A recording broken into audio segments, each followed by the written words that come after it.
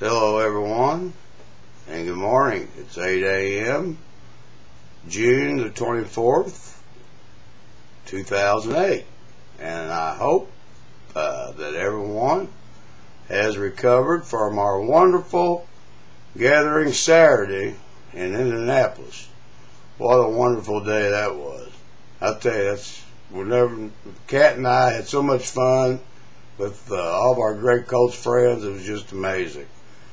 I went for years and years without even meeting a Colt fan around here. And now I got many, many, many wonderful Colts fans, and we're just having a blast. But uh, the day started out, we pulled up the Children's Museum, and lo and behold, the Brown family was getting out.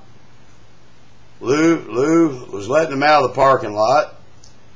Seen uh, Janelle, Coach 92, Kathy, Coach Girl K4, Sherry, see my tattoo, and Ricky, that's the Brown uh, girls, and Ricky, their son. What, what a great young man he is. Uh, and then uh, uh, Ann Paymore, 18, that's uh, Janelle's, uh, her best friend for life. And uh, Lou, J.S. Tolu, 55. Of course, he had he was their, their chauffeur, and uh, I'll tell you what, what a great crew that is. It's just unbelievable. Then we went down and uh, seen Bucky Rex, and here comes Coach 12th Man Bill with his family, part of his family. What a wonderful thrill that was to meet them. What great people they are. Um, so we had a great time. Our Bucky Rex is like a superstar there at the museum. The children there just love the, the man and uh, he signed autographs and all the books. Uh, his own uh, book they had written about him, and uh, so he was busy, busy, busy, and he did take time out to give us a few little tours and uh, give us some classes on the dinosaurs. Of course, you know I, I thought he'd roped the thing and broke it, you know, like he does those horses, and I I think he was trying to take a little credit for that, but. Uh, think somebody called him a farmer, and uh, he said, "Oh, don't call it, don't call ranchers no farmers." Then, then later that night, he ended up calling me a hillbilly. Well, what's up with that?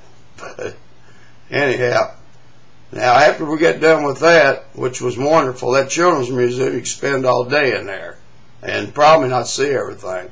When Pudge gets a little older, and my other grandkids get a little older, uh, we're going to take them all up there. It's just a wonderful place. And uh, Bucky's a real superstar up there, believe me.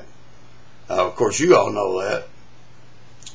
Then they, uh, we didn't go over to the Blues Bar, which I, not Blues Bar, the Blue Crew uh, Bar or Grill, uh, which I'm still kicking myself for. We went straight to Sportz uh, for uh, uh, uh, uh, Tammy's birthday and that's Coach Fan Tam's birthday party was over Sportz.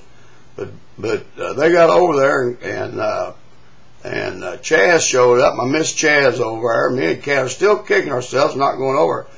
And old Bojangles called in and bought them all of the first round of drinks over there, and just uh, it's uh, pretty amazing. Uh, way to go, Bo! Uh, I swear you got to be a Colt. Um, well, we missed him and uh, missed Chaz.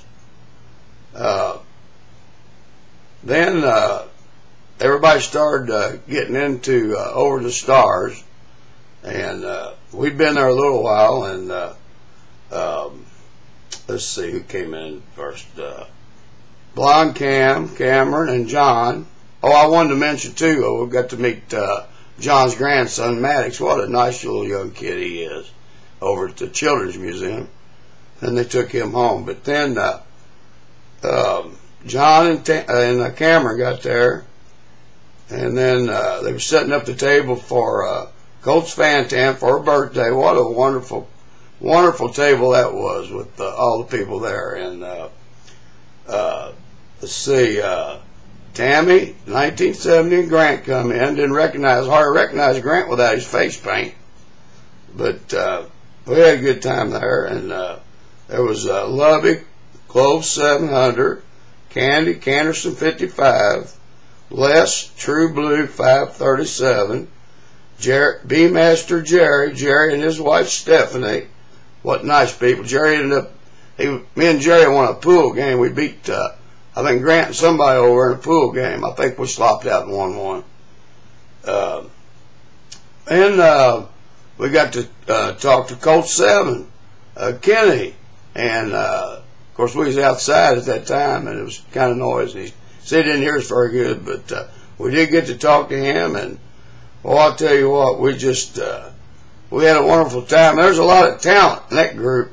Janelle, the ringleader, of course, and her son Ricky, he's a real uh, singer, and uh, it was just fun. And uh, um, uh, we met uh, Michael B. and Coy there, and they done a lot of uh, karaoke singing. And Coy gave uh, uh, Coach Fan Tam Tammy a birthday lap dance and be darned if he didn't come over and give uh, my wife Kat one.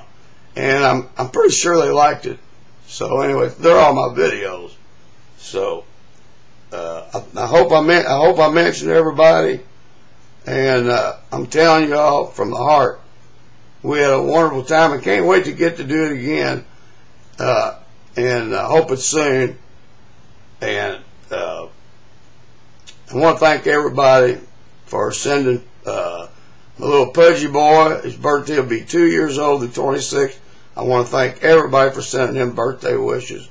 And you're all just about the greatest people in the world. I'll tell you what, it's just the, it's amazing. It's amazing. And we had such a good time. And I hope I didn't leave anything out. This, this video can't last forever, but boy, I could, I could sure keep going and tell quite a few stories of what happened over at Sportz Bar. but uh, needless to say, uh, uh, the uh, the party was uh, the rocking on. I think we got home about 2:30 a.m., which is not bad. There wasn't any traffic, and it didn't take any time to get from Indy to New Albany.